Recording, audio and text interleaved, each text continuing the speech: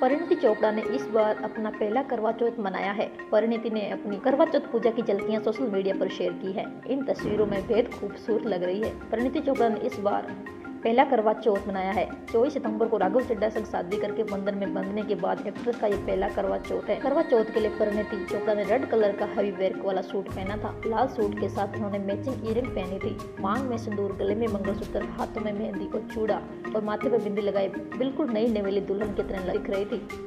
परिणति के साथ राघव चड्डा भी कुछ कम नहीं दिखे। वे पीले कुर्ते पजामे में काफ़ी हैंडसम लग रहे थे। उन्होंने अपनी नई नेवली दुल्हन के साथ जमकर पोज दिए।